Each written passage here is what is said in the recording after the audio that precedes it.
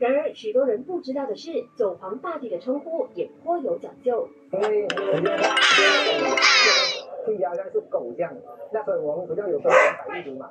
孔一级杀鸡多拉七别告，文族是连一级三度的七百叫七王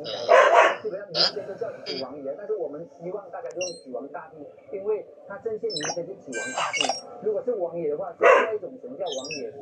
而除了马来西亚，九皇大帝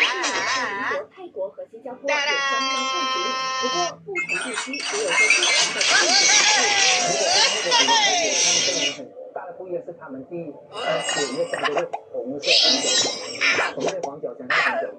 有分别，因为经过百多年的研究，我们已经变出一套，他自己保留传承是一套。新加坡 跟我们大同小异，差了差不了多少，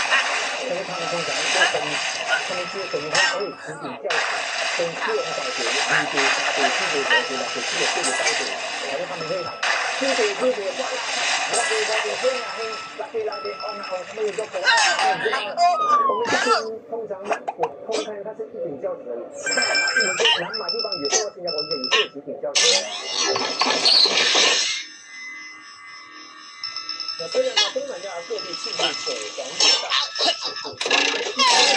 我国马来西亚是其中一个将九皇大帝信仰保存的最好、最完整的国家。能位于槟城的香港象斗母宫是全东南亚历史最悠久的斗母宫，建于1842年，至今呢已经有超过一百八十年历史。九皇大帝在东南亚的第一支香火就在香港象斗母宫。新皇帝都杂志城市报道，槟城和解机构也在九皇爷诞期间联合举办了九皇大帝是什么神。